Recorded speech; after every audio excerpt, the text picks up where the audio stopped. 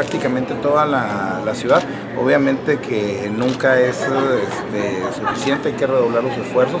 Yo pediría este, a la ciudadanía en general que pusiéramos mucha atención en, en dónde están nuestros niños, este, eh, cómo los están cuidando, en dónde, quién y quién se hace cargo de recogerlos y que seamos puntuales a las horas de salida y de entrada de las escuelas.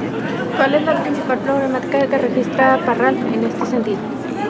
En este sentido, bueno, no, no tenemos este, registrado ahorita este, pérdida de niños este, en, en, Parral, este, por el contrario ha sido un municipio que se ha caracterizado porque en este caso, en este tipo de casos no ha habido incidentes.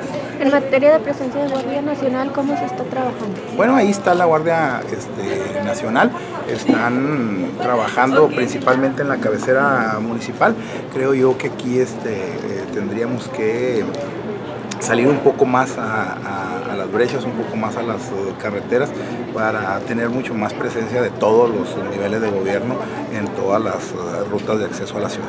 ¿Se tiene contemplado una, una comandancia bueno, en este momento no se tiene contemplado por parte del municipio, este, no sé si por parte de la sí, federación. Por parte de la federación. No, no, no tengo un conocimiento.